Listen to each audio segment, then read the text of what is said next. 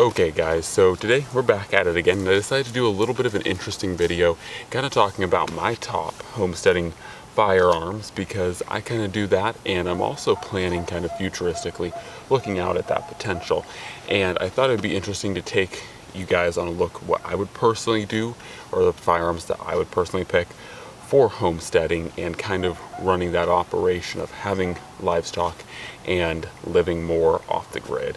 And so with the annoying horse in the background adding quite to the rustic nature of this video. so anyways guys, uh, let's jump into this. So I also thought it would be pretty interesting to bring you guys into this video because Alaska's needs are a lot different from the needs of the lower 48. So that's going to also kind of dictate the differentials in firearm choices for me personally. So starting off, I'm going to go over the rifles and then the handguns, and there's five guns here overall. And now let's jump into them.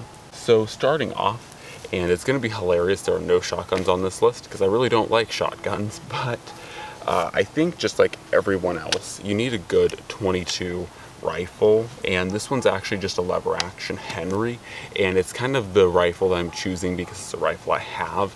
It's not necessarily my most favorite but it makes a very viable option and I will say to this rifle's credibility credibility, sorry, I can speak much. Uh, this gun has taken a lot of grouse, it's taken a lot of squirrels.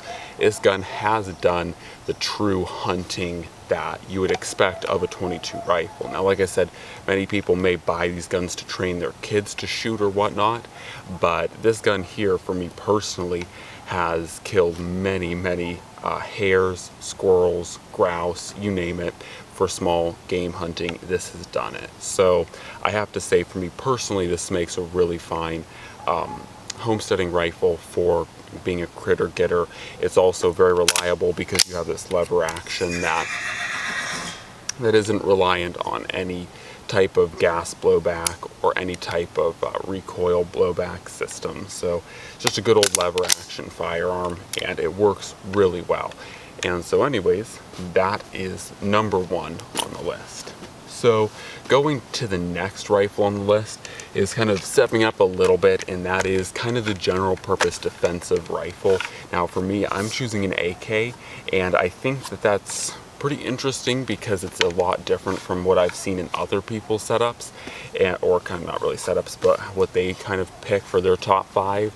And the reason why I differentiate from a lot of people choose ARs, I like the AK a lot more for two reasons. Because one, when you pop the mag out of the AK, it makes a really great truck gun because of its slim profile. It's a lot more slim than an AR because with an AR, it has more of a mag well down here. So it kind of adds a little bit more bulk, but at the same time, you know, you stick your mag in and you're ready to go. So it kind of is nice. It's a little bit nicer for being a truck gun in that way. And it's also nice for being a defensive gun because of the heavier caliber that it fires for Alaska. Now, obviously this isn't gonna be a polar bear hunting rifle, but if you are protecting livestock from predators such as black bears, uh, wolves, coyotes, fox, or even brown bears, this rifle is going to do a pretty good job, especially being that you have 30 rounds of 7.62 by 39 ready to go.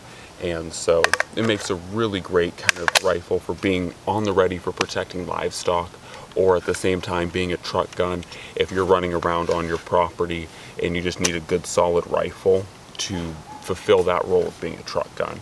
So I personally like the AK system more, prim primarily not so much due to the fact that it's more reliable. I don't really buy into the whole fact that this is a more reliable system than, you know, an AR, because I know ARs, especially now a lot on YouTube, have been proven to be pretty reliable guns. I just prefer this because of its heavier caliber and because of this because of the more compact size when you have it sitting like this. And like I said, you can have a magazine sitting right like this next to it. So you just pick it up, put its magazine in. You just pick it up, put its magazine in there, and you're ready to go. So anyways, that's the next rifle on the list. So last rifle, and I know there is a little bit of repetitivity because this one and the AK are both 30 caliber rifles, but the next one is just having a really good solid hunting rifle for larger game. So if you are actually, in fact, trying to go after bear or moose or larger game animals, it's nice to have something that's a solid hunting rifle. This is just a Remington 700 uh, SPS model or special purpose synthetic as they call it.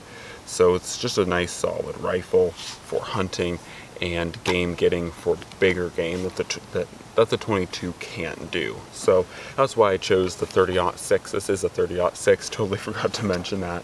But it's just a solid rifle and once again, this one's taken a lot of game and is extremely accurate. I know a lot of people talk trash on the Remington 700s but I have had a lot of great experience with the R700 platform for myself personally and kind of just being a gear reviewer myself. I can only speak I can only speak about my personal experience with a platform. Uh, so if someone else comes out and they're like, hey, you know, I had a really horrible experience with the R700, then you might stay away from it yourself. But for me personally, all I can say is good about the R700 and it is a very accurate and reliable rifle for me. So that's all I can say personally on it. So now moving over to the handguns. There's really only two handguns now, obviously. I have more guns than this. It's just these are my top five. But the two handguns are factored for more personal defense, a lot like the AK is, uh, and then hunting, like the bolt action rifle and this uh, lever gun are. So starting off with the hunting rifle, or sorry, rifle, yeah.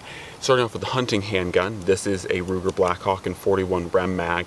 Sometimes it just calls, being in Alaska, calls you to going into deep into the bush, straight into bear territory. I've already had to go there several times where there's a very high population of bears, and so that's when I go to the Ruger Blackhawk, is because this is a really pretty lightweight and very reliable uh, very well shooting, very good overall handgun in a Magnum caliber. And the 41 Magnum's no slouch. I know a lot of people like 44 more.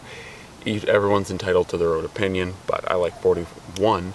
So yeah, it works. So anyways, this is my preferred bear country handgun if I have to go in and I have to be there. So anyways, moving over to just the day-to-day -day tasks, I prefer having the Glock 19 or the Glock 21, but more leaning toward the Glock 19 for just the day-to-day -day tasks.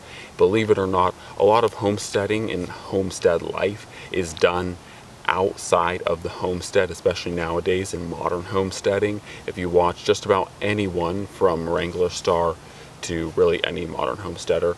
Uh, you know, they're going to town frequently.